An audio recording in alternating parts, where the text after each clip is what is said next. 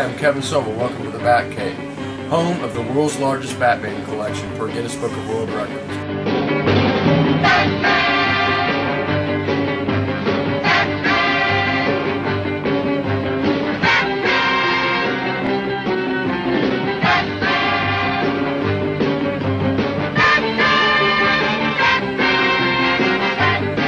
I've been collecting Batman since I was five years old. I've got over 2,550 pieces. My favorite item here is the Adam West outfit from the 1966 TV show, which sparked most of this for me. I was five years old when the show aired in 1966, and it's made a lasting impression.